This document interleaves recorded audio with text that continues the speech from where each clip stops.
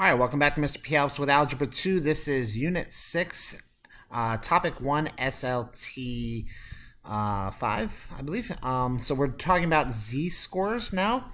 Um, so we have a normal distribution, which we've been seeing this empirical rule data before. Um, so we're being told that the average score was 75, so I'm going to put 75 right here in the middle. And then our standard deviation of 8, which means I'm going up by 8, so this becomes 83, and then 91, and then 99. And then going down, you're subtracting 8, so this is 67, and then 59, and then 51. Okay, so it says if you scored an 83%, that means you scored right here.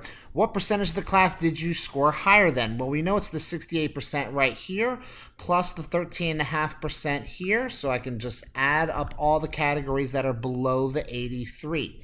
So once again, so that's 68 plus 13.5 plus 2.35 plus 0.15 which adds up to 84%. So you beat 84% of the people. If you scored 91%, what percentage of the class did you score higher than? So 91 is right here. So that's the same 84% that you beat here, but you also beat this 13.5%. So you add 13.5% more, and then you get 97.5% is the answer for B. If you scored 91%, what percentage of the class did you score higher, did higher than you? Okay, so 91% would be right here. That would be everybody else, which is over here, which would be 2.5% of the people. Okay, so um, back to our hypothesis. So Mr. Fells' fourth period took the same exam and their scores are normally distributed. Distributed. So here's first period and fourth period. Now, all a student in first period and fourth period both scored in 88. So why is it difficult to determine which student did better compared? Now, if they got the same score, um, we can see 88 is above this. It's this is a lower mean than this, but also has a higher deviation. So that's what makes it tough to compare. So we want to know how do we know who they did, which class they did better in, and that brings us to the idea of z-scores. A z-score tells you the average amount of deviations that you are away from the center. So if you, the further you are away from the center, clearly the better you did. Um, the further to the right, the further below it, then the worse that you did. Therefore, using the first did period, so what is the z-score of the following score? So the way to find the z-score, okay, so 91, so this would be a z-score of 2 because it's two standard deviations above the mean. 67 is one standard deviation below the mean. 99 would be three deviations, one, two, three deviations above the mean. So the z-score would be 3. And 63, 63, keep in mind, is in between here. So that'd be negative 1 point something.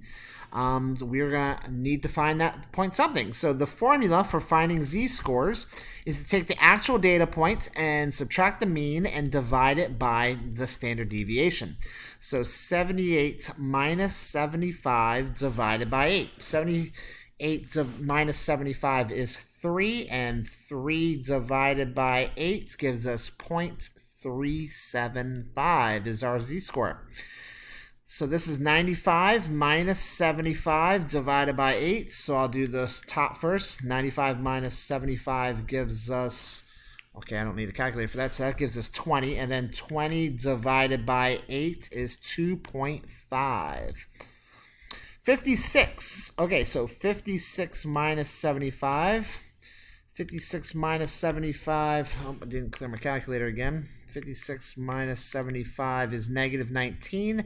And then divide that by 8, and you get negative 2.375.